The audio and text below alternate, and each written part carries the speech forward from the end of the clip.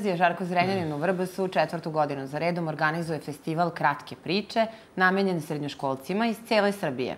Ovih dana stigli su rezultati konkursa, a Aleksandra Dejanović nam se ponovo javlja iz Vrbaške gimnazije.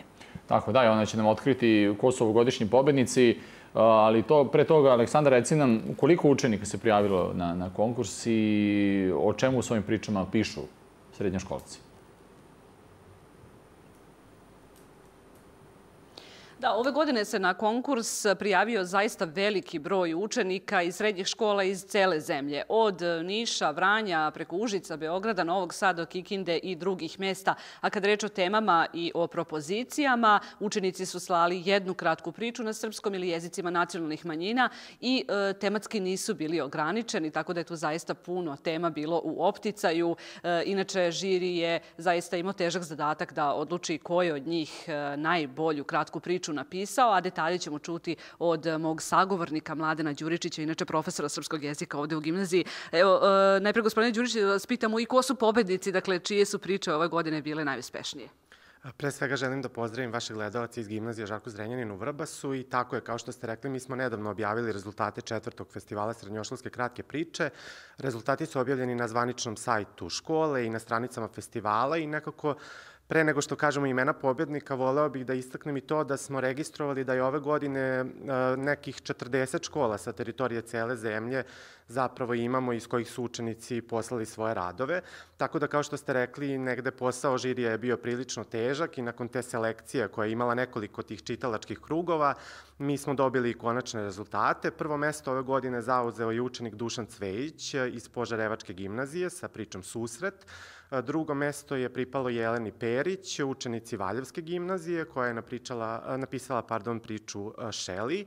I treće mesto je otišlo u Mitrovačku gimnaziju Irini Trijević sa pričom Skok. Tako da bih ja evo još ovu priliku iskoristio da čestitam svim nagrađenim i pohvaljenim autorima i sa željom nekom da jeli nastave da pišu priče kao što su to činili i do sada, da neguju svoj talenat i da nam se u što većem broju prijave i naredne godine.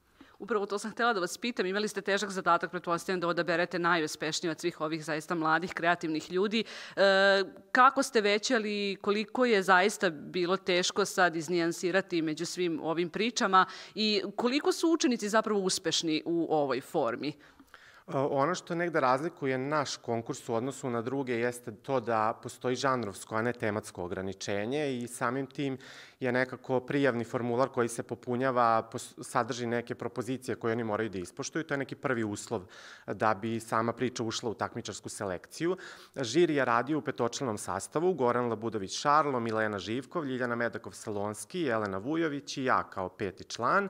I negde sve priče po prispeću se šifruju, one do žirija dolaze pod šiframa, dakle mi ih čitamo, kao što sam rekao, prolaze nekoliko krugova, dakle te selekcije i svaki član žirija u stvari ima zadatak da rangira pet najboljih priča. Kada se one boduju i kada dobijemo tu neku konačnu rang listu, mi dešifrujemo priče i dobijamo pobednike. I to je nekako praksa da svake godine se članovi žirija menjaju, da bi eto nekako prosto upravo zbog toga što su teme slobodne i što učenici pišu o različitim temama, da nekako se pruži prilika svima da možda budu i najuspešniji na festivalu.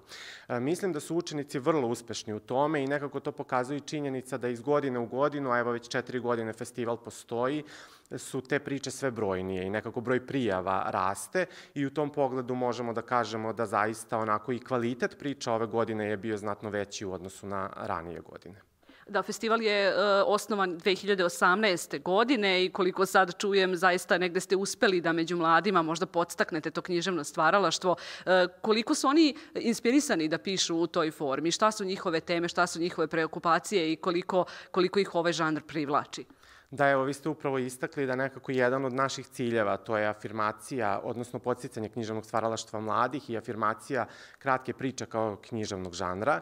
I nekako mislim da živimo u vremenu u kojem se kratka priča kao žanr prosto nekako nametnula. Vreme je brzo, turbulentno i nekako ako uzmemo u obzir neku statistiku, nekako se danas najviše možda i čitaju i pišu kratke priče.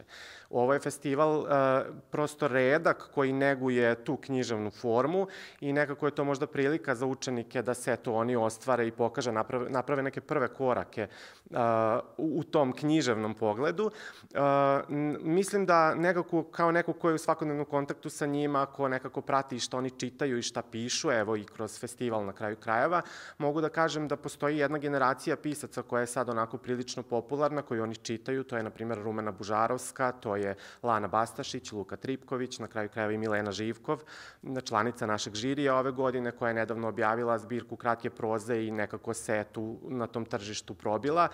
I u tom pogledu nekako se vidi uticaj te lektire na njihovo pisanje i mene to onako nekako posebno raduje, što mislim s jedne strane vidimo da čitaju, a s druge strane nekako taj uticaj se vidi u njihovim pričama. I kažem, mislim da su veoma uspešni, nekako to pokazuju i kratke priče eto, koje ćete imati uskoro priliku i da čitate u Biltenu festivala. I ono što sam htela za kraj da vas pitam, na jesen planirate i neku zvaničnu dodelu ovih priznanja, ali i neku vrstu uh, afirmacije malo veće ovog festivala pred ono jubilarno peto izdanje. Kako ste to zamislili? Da, mi smo nekako još od prve godine imali tu ideju da nekako festival ne ostane samo na konkursu, nego da tu bude neka prateća manifestacija koja bi promovisala same autore. Uh, nekako vreme i sve neke okolnosti koje nam nisu išle na ruku ranijih godina, konkretno mislim na pandemiju, su nas sprečili u tome, ali evo u susret tom mini jubileju, petom festivalu, mi smo svakako planirali da tu završnu manifestaciju nekako konačno i organizujemo. Mnogo je nekih ideja u oblaku koje, o kojima mi još uvek razmatramo i nekako pokušavamo da koncipiramo kako bi to moglo da izgleda. Neki je plan da se svakako u Vrbasu susretnu autori koji bi ušli u neki uži krug. E, to bi bilo, jeli, opet neka prilika da oni pročitaju svoje priče, da razmene iskustva, da eventualno razgovaraju sa piscima koji bi bili naši gosti i da se možda organizuje neka radionica kreativnog pisanja za njih. Dakle, da pored toga što ih nagrađujemo, da nekako se trudimo i da im pomognemo da se usavršavaju na tom polju. A s druge strane, to ja ću otkriti sad jednu onako ideju koja je, velike su šanse da ćemo to eto i ostvariti prilikom sledećeg festivala. Nekako naši učenici su pokazali, naši učenici konkretno iz gimnazije u Vrbasu, veliko interesovanje za neke multimedijalne forme, za video, kratke filmove i slično. I mi smo doneli neku odluku da bi možda bila dobra ideja i za promociju mladih autora da se na, da njihove kratke priče koje su nagrađene ranijih godina posluže kao scenari za snimanje kratkometražnih filmova. Tako da bi oni s jedne strane bili promovisani tako što se njihove priče štampaju u Biltonu festivala, odnosno u školskom časopisu Mladi dani, a s druge strane bi stigle i do gledalaca kroz taj neki video format o kojem ćemo, eto, nadam se, već prilikom sledeće godine imati moći i da razgovaramo. Sjajna ideja, mi vam želimo puno uspeha u realizaciji svih ovih ideja. Hvala vam. E, poštovani gledoci, dakle, čuli ste Gimnazija Žarko Zrenjanin u Vrbasu, završila je i četvrti festival e, kratke priče srednjih škola iz cele zemlje. E, svakako detalje o dodali nagrada pratit ćemo i mi kada dođe vreme za to. A evo za ovo uključenje ja ću samo napomenuti, dakle, da se te kratke priče, odnosno pobedničke priče, mogu pročitati u biltenu festivala kao i u časopisu Mladi dani koji, koji izdaje Gimnazija Žarko Zrenjanin u Vrbasu. I sa ovom pričom, lepom pričom i završavamo naše uključenje za ovaj petak. Hvala puno.